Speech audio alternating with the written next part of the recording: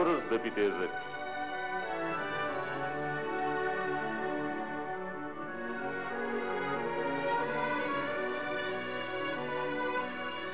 La Terre Երկիր կոչվող մեր հրթիռով կճանապարհորդեն կարեկակի շուրջ, որը կտևի 1 տարի։ Nous nous approchons de la fin. Փետրվար ամիսը վերջանում է։ Dans la Rome Հին Ռոմում փետրվարը տարվա վերջին ամիսն է։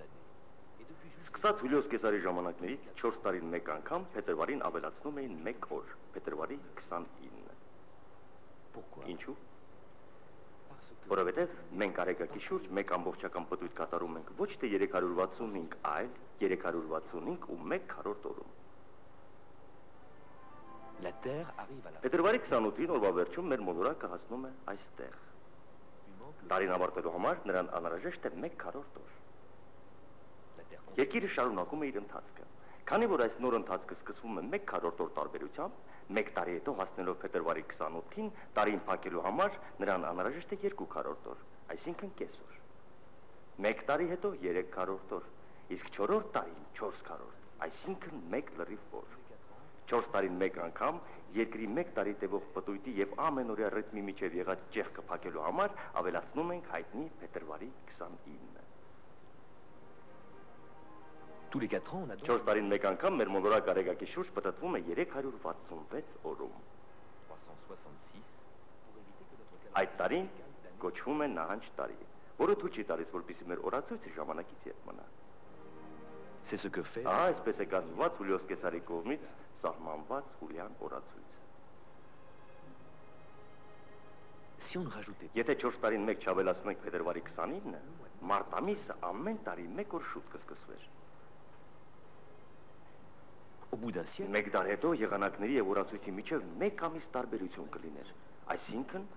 զատիկը կտոնեինք ձմռանը, իսկ ամանորը սրբերի օրը նոյեմբերի 1-ին։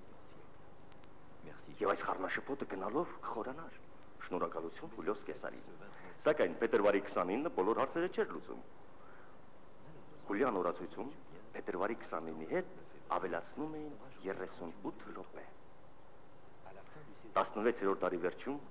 արդեն հավաքվել էր 10 ավելորդ օր։ Այդ ժամանակ Հռոմի Գրիգորիս 3-րդ պապը, որն աստղագիտության մեծ սիրահար էր, կրճատեց այս 10 օրը եւ հոկտեմբերի 4-ին հաջորդեց հոկտեմբերի 15-ը։ pour éviter que le Որպեսզի նույն սխալը չկրկնվեր, որոշվեց դարի վերջին թվերին 1700-ին, 1800-ին, 1900-ին նահանջ օր չավելացնել։ Դրա փոխարեն այն ավելացնել 400 տարին մեկ։ Ահա թե ինչու 2000 թվականին փետրվարը 29 օր էր։ notre calendrier grégorien. Այս փոփոխությունների շնորհիվ Գրիգորյան օրացույցը 3000 տարում կավելանա 1 օրով։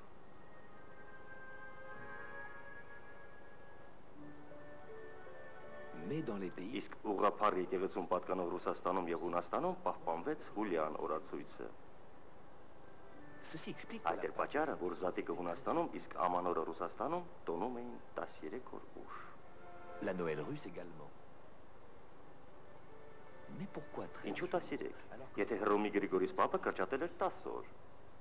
Հռոմի Գրիգորիս Պապի ռեֆորմից հետո մինչ այժմ Հուլիան օրացույցը պակասել է եւս 3 օրով, այսինքն ընդամենը 13 օր։ total 13 jours de retard.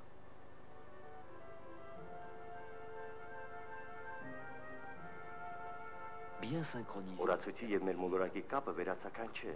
այլ միաժամանակ արտացոլում է եղանակների ռիթմի եւ տիեզերքի միջև եղած հարաբերությունը։ tels que nous les vivons.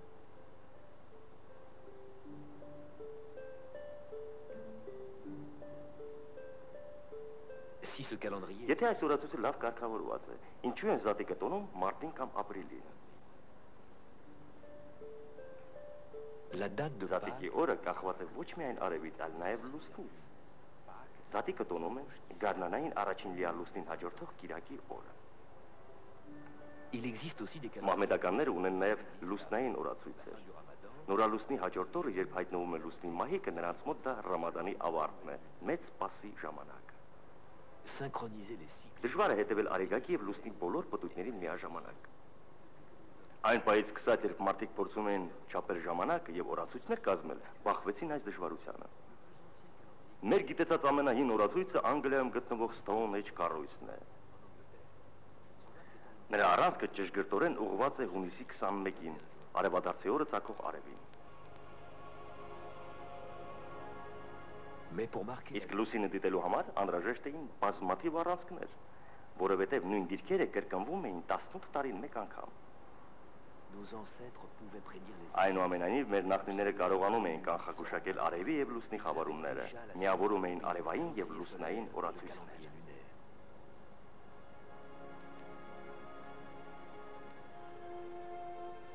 Les autres planètes Մյուս մոլորակները օրացույցի կարիք չունեն։ Երկրի վրա ժամանակը չափելու եւ եղանակները կանխատեսելու անհրաժեշտությունը քաղաքակրթության պահանջն էր։ Mais la Terre, Մեր մոլորակը միակ տեղը չէ, որտեղ հող կա։ Մեր հարևան մոլորակները Մերկուրին, Վեներան եւ Մարսը նույնպես հողից են։ Դրանք կոչվում են կարծր հողային մոլորակներ։ Օրինակ. Վեներայի վրա կարելի է քայլել, եթե այնտեղ տաք լիներ։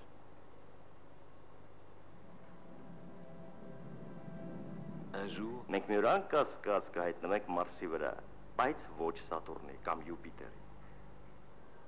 nous ne marcherons jamais sur Գուցե այս մեծ մոլորակները կարծր միջուկ ունեն, սակայն մեծ մասամբ պատված են գազով։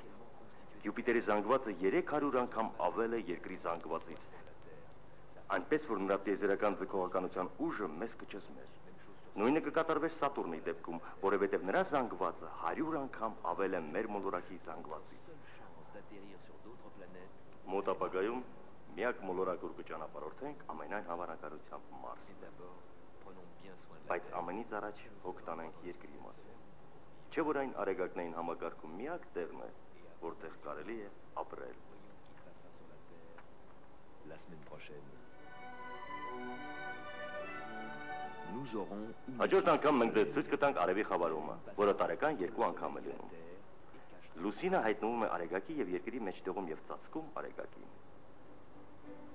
Comment fait-elle la Lune Լուսինը երկրի շուրջ պատտվում է 4 շաբաթում։ La Lune tourne autour de la Terre en quatre semaines. Երբ լուսինը գտնվում է այստեղ եւ արևը լուսավորում է նրա ամբողջ երեսը, դա լիալուսինն է։ Հետո կամած կամած լուսնի հեռանալու հետ լուսավորում է միայն նրա մի մասը, դա կիսալուսինն է։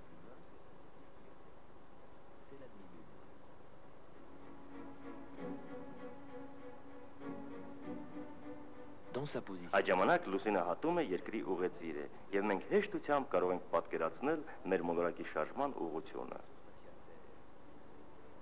Այնտեղ, որտեղ հիմա լուսինն է, մեր մոլորակը կհայտնվի 4 ժամ ուշ։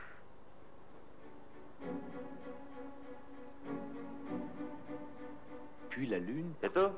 լուսինը կանցնի իր ուղեծիրի վերջին քառորդը եւ արեգակի հետ կհայտնվի նույն գծի վրա։ Դա նորալուսինն է։ Փետրվար ամսին երկրի լուսնի արեգակի նույն գծի վրա հայտնվելը բացառիկ է։ La Lune prend Լուսինը իր ստվերը կնետի երկրի վրա եւ ամբողջովին կծածկի արևին։ cette éclipse Արևի խավարումը տեսանելի կլինի Սիբիրում, սակայն դուք այն կտեսնեք ձեր էկրաններին։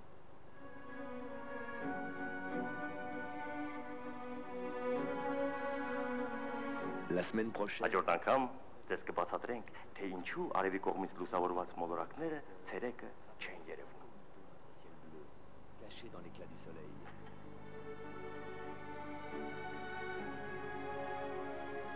Pourquoi nous voyons Ինչու ցերեկը լուսինը երևում է, իսկ աստղերը ոչ։ Réponse Պատասխանները հաջորդ անգամ։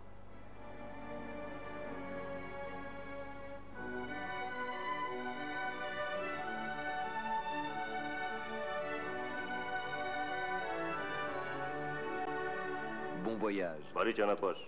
Բոլորս դեպի տիեզերք։